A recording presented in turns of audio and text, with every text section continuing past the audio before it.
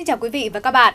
Đêm qua và sáng nay, ở một số khu vực thuộc vùng núi Việt Bắc và Đông Bắc đã có mưa vừa, có nơi mưa to, với lượng mưa phổ biến từ 20 đến 30 mm, tập trung ở tỉnh Hà Giang, Cao Bằng và Tuyên Quang.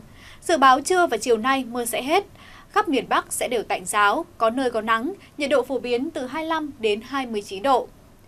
Tuy nhiên, mưa chỉ giảm tạm thời vì từ đêm nay sang đến ngày mai mùng 8 tháng 4, Bắc Bộ có khả năng tiếp tục chịu ảnh hưởng của một đợt không khí lạnh di chuyển xuống, nên mưa sẽ lại gia tăng hơn về diện và lượng ở các tỉnh phía Đông Bắc Bộ.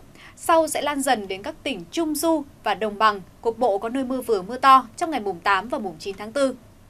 Thủ đô Hà Nội thời tiết có kiểu chợt nắng, chợt mưa, nhiệt độ cao nhất trưa chiều nay sắp xỉ ở mức 27 đến 28 độ.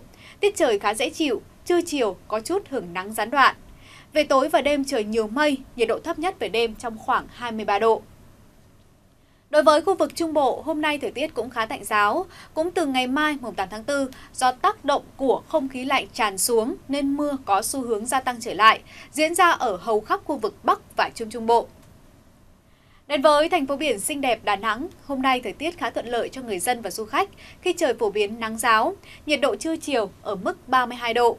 Về tối và đêm trời mát mẻ với mức nhiệt giảm về ngưỡng 24 độ.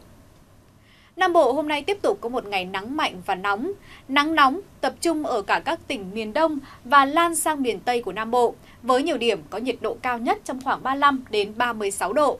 Chỉ số tia UV cực đại phổ biến từ 10 cho tới 11.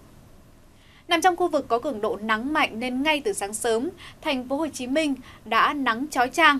Nhiệt độ cao nhất ngày lên mức 35 độ, trời nắng nóng, độ ẩm cao sẽ gây cảm giác oi và nóng trong khoảng giữa trưa và đầu giờ chiều. Quý vị khi lưu thông hay làm việc ngoài trời cần trang bị các vật dụng chống nắng để bảo vệ sức khỏe của mình. Về ban đêm, nhiệt độ dịu xuống ngưỡng mát mẻ trong khoảng 27 độ.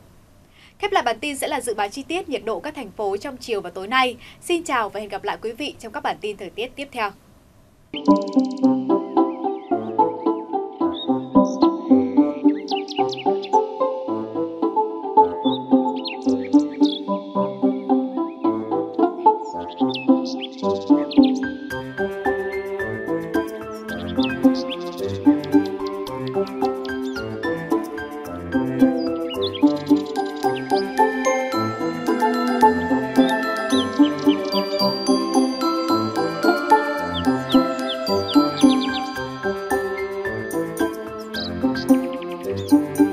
Música